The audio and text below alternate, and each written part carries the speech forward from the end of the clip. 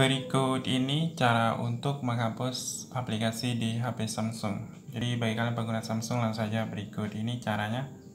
Perlu kalian ketahui tidak semua aplikasi itu bisa dihapus, cuma bisa dinonaktifkan. Misalnya Google Duo ini kalau kita tekan lama, nah itu cuma bisa dinonaktifkan. Tapi dia memang hilang dari layar beranda kita.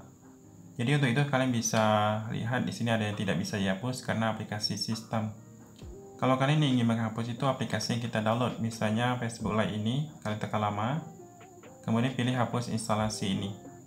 Atau bisa juga pilih icon i, kemudian pilih hapus instalasi ini. Tekan lama, pilih hapus instalasi, pilih OK.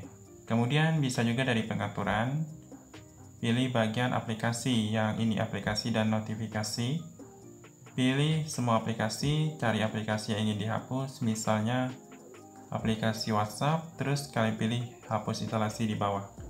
Itu saja, semoga bermanfaat.